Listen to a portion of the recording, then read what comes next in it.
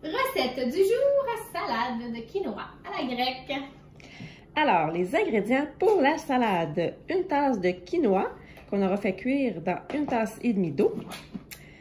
Quatre tomates coupées en cubes. Une tasse et demie d'oignons rouges hachés finement. Un concombre anglais coupé en cubes. Un poivron jaune ou d'autres couleurs coupé en cubes 3 quarts de tasse de fromage feta coupé en dés.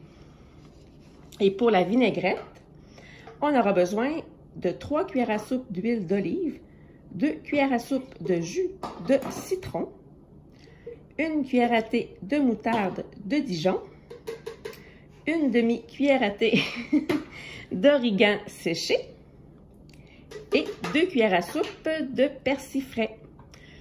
Et au goût, vous pourriez également ajouter des olives. Hum, pourquoi pas? Alors, c'est facultatif. Je sais que dans beaucoup de familles, les olives, ça fait pas l'unanimité. J'étais bien partie pour ma vinaigrette. Je me trouvais bien, bien, bien, bien, bien, bien, drôle. Alors, ça va ressembler à ça. La moitié de déjà faite, comme on dit. Alors, je m'en vais m'aligner pour ajouter la moutarde. C'est la seule chose qui coulait pas tout seul.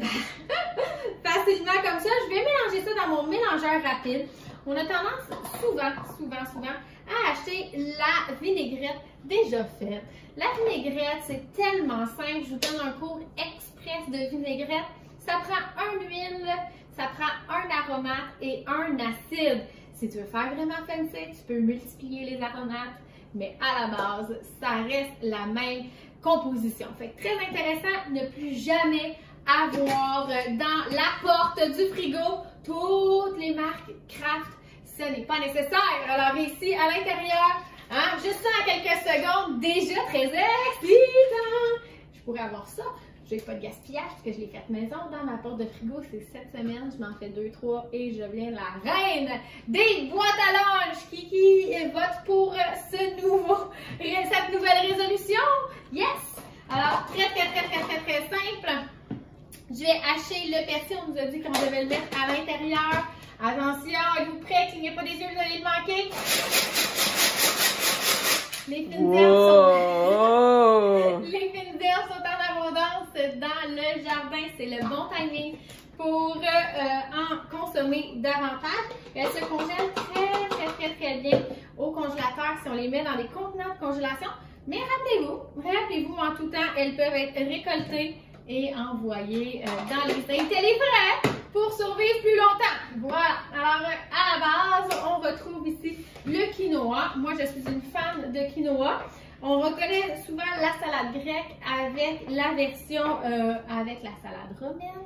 Toujours une option si vous ne tripez pas quinoa. Moi, j'aime la soutenance du quinoa. Mon mari dit souvent euh, un repas euh, avec seulement de la salade, malgré sa générosité, toujours un petit fringale qui arrive plus tôt que d'habitude, versus quand on le fait avec un fond de quinoa beaucoup plus euh, nourrissant.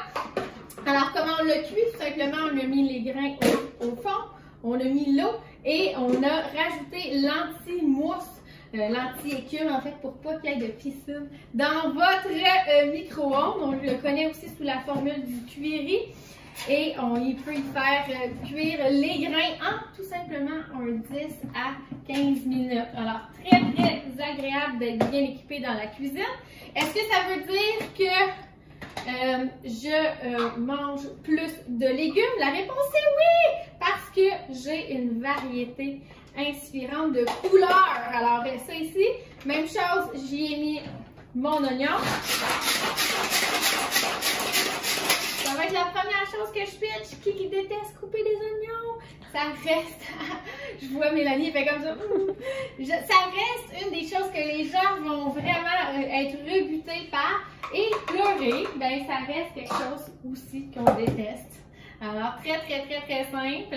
C'est comme avoir un assistant dans sa cuisine. J'en suis certaine que ça résonne chez vous.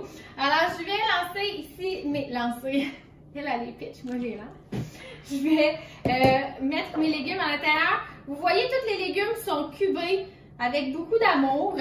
Certaines recettes vont demander de cuber avec beaucoup d'amour. Sachez qu'il est possible, en tout temps, de les pitcher dans un hachoir. Mais quand on veut cuber, un peu comme pour une salade de fruits, il est important d'avoir de bons couteaux.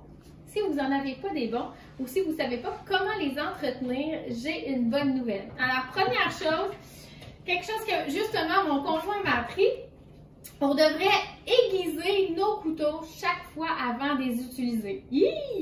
Là, il y en a qui se disent, si je vais dans mon tiroir présentement, j'en ai que ça fait plus de 20 ans qu'ils n'ont pas vu un aiguisoir. Alors, je vous la présente. Elle est fort euh, pratique. Alors, j'ai juste besoin de l'ouvrir comme ceci. Et elle va vraiment me permettre d'aiguiser et les couteaux avec dents et les couteaux pas dents. Alors, très, très intéressant ici. Alors, mon couteau du chef, la euh, formule droit est ici. Très facile de reconnaître la formule dentelée. Je ne sais pas si vous le voyez bien. On va s'envoyer un petit angle vers le cœur. Tout le monde a le cœur à la même place? Yes! Et je vais tout simplement aller glisser ma lame. Plusieurs petits coups, toujours dans le même sens. Donc, on va créer un espèce de rayon qui va faire que euh, on ne jouerait pas du tout de violon, ok? Alors, ni de... Je sais pas. Ce n'est pas une scie. C'est... Il faut pas faire de menaces comme ça. Alors, je juste glisser comme ça. Rappelez-vous, présentement, il y a une couche de micro stainless qui vient de se déposer sur mon couteau. Je vais tout simplement glisser ça ici pour pas euh, que ça se retrouve dans mes aliments. Et j'aurai une coupe parfaite.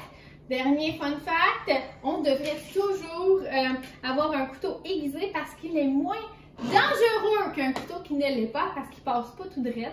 Il s'en va exactement où est-ce que tu l'as aligné. Fais juste attention que tu n'aies pas aligné ton doigt en dessous. OK. Alors, tout simplement, la tomate, dans un cas précis comme ça, on aime le concept. Fait que si on va aller la cuber, ben c'est sûr que j'ai vraiment l'impression que c'est, en anglais, on dirait effortless. Euh, en français, on dirait sans effort. Très, très euh, archi simple. Voilà. Et, oh, tant hein, on est rendu là. Au lieu de glisser jamais du long de mon fil, on va prendre l'endos du couteau, si vous ne le saviez pas, pour pas les abîmer. Alors aujourd'hui, vous pourrez pas dire vous avez rien appris, en espérant que ça va vous avoir servi à avoir l'air smart devant les invités une prochaine fois. Voilà. Oh, j'ai appris que... Ah, comme si je ne vous saviez pas déjà. Je sais que vous êtes déjà vraiment super intelligent. Alors ici, j'ai mes ingrédients de base. Je m'en vais glisser ma tomate supplémentaire. On a dit combien de tomates? On a dit 4 tomates! Alors ne lésinez pas là-dessus. C'est ça qui va faire l'espèce de jus, de jus l'espèce de... Hum, la tomate, c'est la base de la salade grecque. Alors rappelez-vous, je rajoute mon fromage. Moi, je choisis toujours des petits. C'est parfait. C'est exactement ça qu'on veut. On veut que ça a l'air rich. Parce que quand euh, j'ai juste un petit fond, vous avez remarqué, ça, on dirait qu'elle a plus l'air bonne, la salade, personne n'en veut. Non, non, faut que ça a l'air l'air euh, rempli. On se rappelle que j'ai euh, ma vinaigrette, j'y ai ajouté mon persil, je donne un petit swing de plus. Glisse ça ici à l'intérieur de ma recette. Prochaine fois, on pourrait faire une pâte à crête. Laissez-vous aller avec vos recettes familiales. Et là, on travaille avec le persil frais, mais on travaille souvent avec l'origano séché. Euh, c'est ça le classique. Alors, des fois, on peut essayer de remettre au goût du jour les classiques, mais des fois, le côté conservateur est la clé. Alors, je vais mélanger tous mes ingrédients ensemble, mais déjà là, ça a l'air délicieux. J'ai toujours euh, le potentiel d'utiliser la technique à Mélanie. Est-ce qu'il y en a qui se rappellent la technique de Mélanie? Peut-être que vous ne l'avez jamais entendu parler encore. Je vous la présente, qui est la technique. Le plat est toujours trop plein. On le ferme et on fait shake, shake, shake. Voilà! Pas plus compliqué que ça. Et là, on a du premier coup, sans effort, pas de bordel, une salade qui me semble, ma foi, très, très délicieuse. Alors, ça, ça se conserve toute la semaine et on mange du soleil. Délicieux.